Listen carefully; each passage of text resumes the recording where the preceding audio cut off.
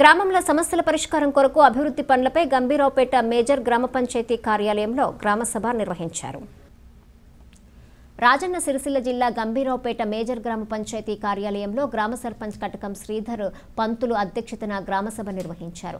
గ్రామసభలో machine Bhagiratha నీరు నాలుగు రోజుల నుండి రావటం లేదని బోరు మోటార్ల ద్వారా నీళ్ళు అందివ్వాలని సభలో గ్రామస్తులు లేవనెత్తారు.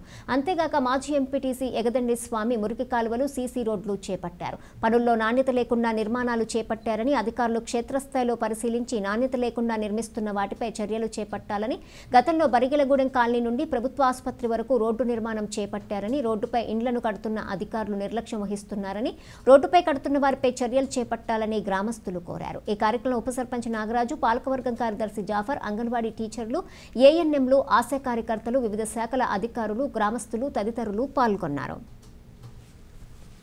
వాటికి పెట్టే అధికారం మీకు ఉన్నది. మీరు ఎందుకు పెట్టకపోతున్నారు అది? వార్డ్ మెంబర్ల మీదనే అది. ఏది పెడితే అది మీరు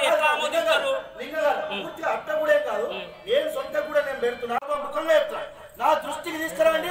పదహారు వాడ గంటల ఏది అత్యం అవసరమో అది నేను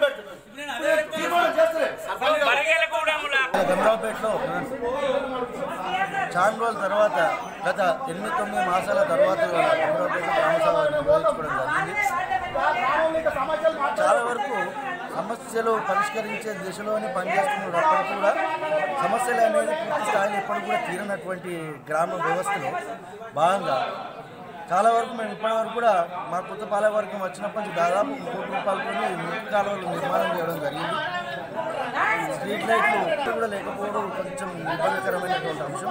మేము చాలాసార్లు మా ఆఫీసర్లకు తెలియజేయడం జరిగింది.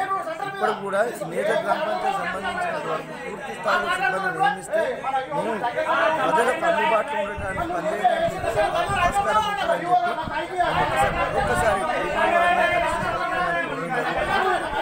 ఏ సమస్యలు ఉన్నా కూడా పరిష్కరించడానికి దశలోనే పనిచేస్తామని చెప్పి ప్రతి ఒక్కరికి ఇరవై నాలుగు గంటలు అందుబాటులో ఉండడానికి ప్రయత్నం చేస్తామని చెప్పి సభ తెలియజేస్తాం